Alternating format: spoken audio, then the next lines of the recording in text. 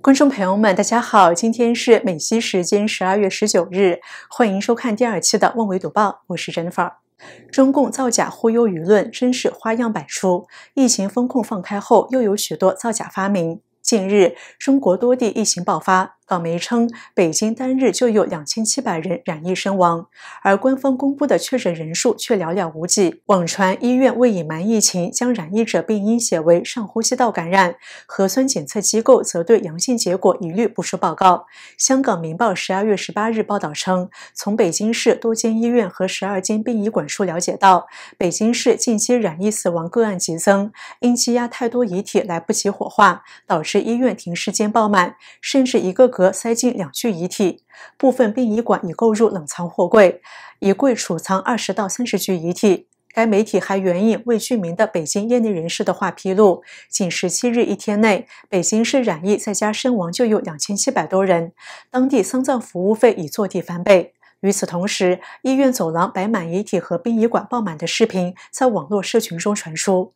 然而，中共国家卫生健康委员会官网十八日发布的疫情通报却显示，十二月十七日零到十四时，全国报告新增确诊病例仅两千零九十七例，重症病例较前一天增加十五例，无死亡病例。面对如此巨大的反差，外界斥责中共隐瞒疫情已到了肆无忌惮的程度。网上更传出消息，指中国各地为了把数据做好，有两大招数隐匿疫情。第一招，直接把新冠感染更名。据网友在社交平台上的爆料，中国各地医院现在对染疫而发烧的病人都不做统计，甚至在病历上做手脚。对核酸检测阳性到医院就诊的患者，直接把病名改写为上呼吸道感染；对染疫后死亡者的死因写为肺炎，都绝不提及新冠感染。第二招，核酸检测机构对检测出的阳性案例一律不出具阳性报告。有网民透露，杭州核酸检测站张贴声明称，采检次日早上八点未收到结果，则为阳性，阳性不出具报告。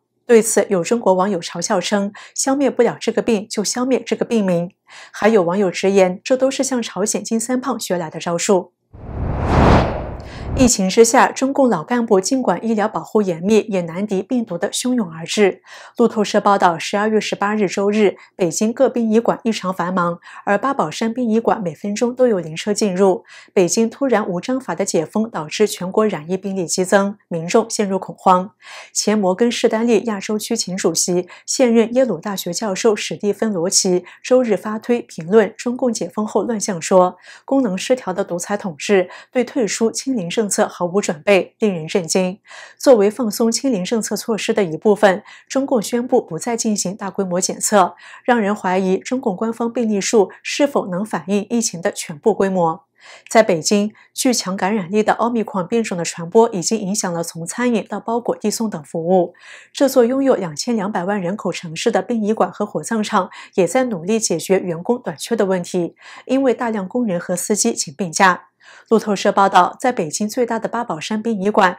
也是处理中共高级官员和领导人遗体的殡仪馆，周日每分钟可以看到几辆灵车进入，而私家车的停车场也已满员。一名不愿透露姓名的员工对路透社说：“现在很难预订灵车，很多亲属都用自己的车运送遗体。”报道说，北京的其他殡仪馆也人满为患，火葬场冒出浓浓的黑烟，成群结队的人聚集在那里收集死者骨灰。目前尚不清楚与 COVID 相关的死亡人数对整体死亡人数上升起到多大程度上的影响作用。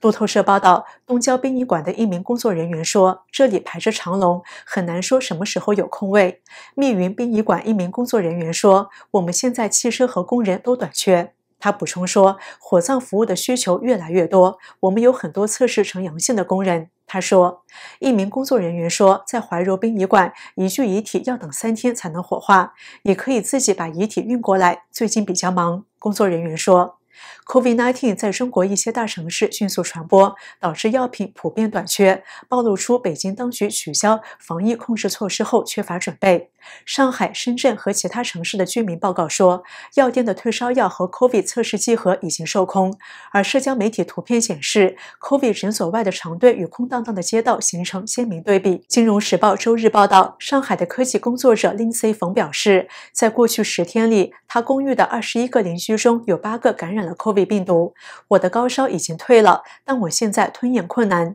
周六在家检测呈阳性的冯说。在深圳，一家药店老板说，店里的感冒药和发烧药都卖光了。两周来，我一直在要求供应，但工厂仍在推迟我的订单。他补充说，计划在有货时自己去取货，没有司机，他们都检测呈阳性。广州的一名大学生艾米说，他的同学最近几天陆续发烧，但由于无法进行家庭检测，其中一些人无法确定自己是否感染病毒。艾薇说：“虽然该市的一家在线医院仍然有药品，但已经没有健康的工作人员来运送物品了。”金融时报报道，中国非官方对疫情蔓延的估计各不相同。例如，一位名叫陈清的业余统计家分析了在线搜索趋势，他估计上周五有近四千万新的 COVID 病例。周六，澄清估计北京百分之三十九的地区已被感染。据估计，重庆市百分之二十九，广州市百分之十六，和上海市百分之十一已被感染。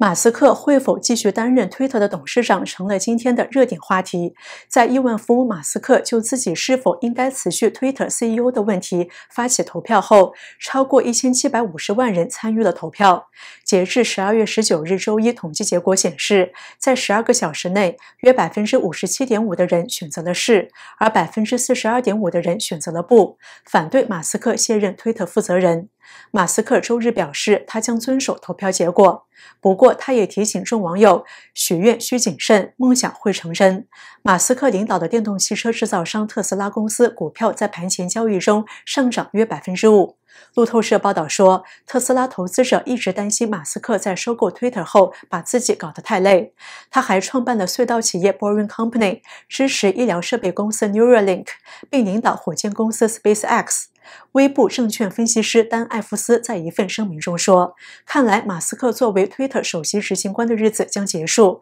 从而对特斯拉的股票来说是一个重大利好。马斯克就是特斯拉，特斯拉就是马斯克。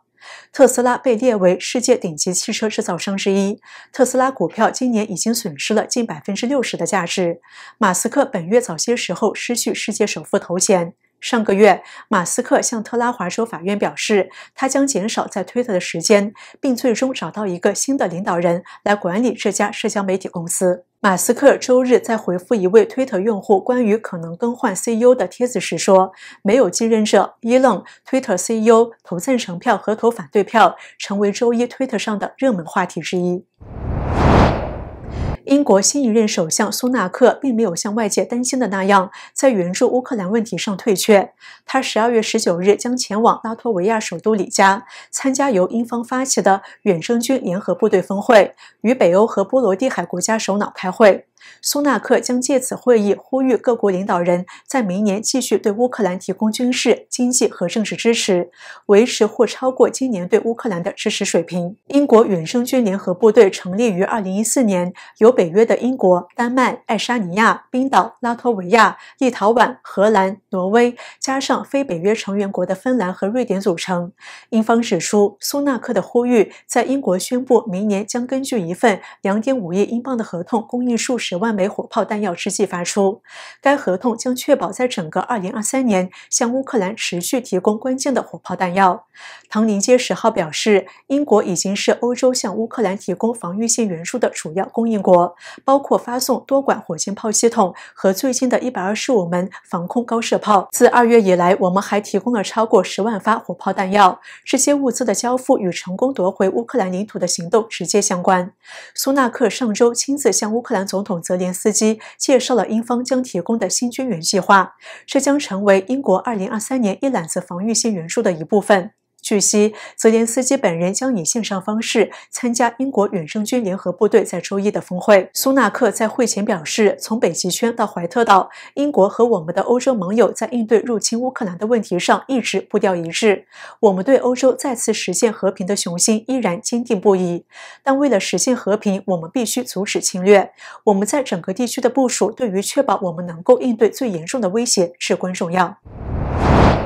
以上就是本期《万维读报》的所有内容，感谢您的收看。如果您喜欢我们的节目，请点击屏幕右下方订阅我们频道，同时也欢迎您点赞、转发、分享我们的视频。我们下期见。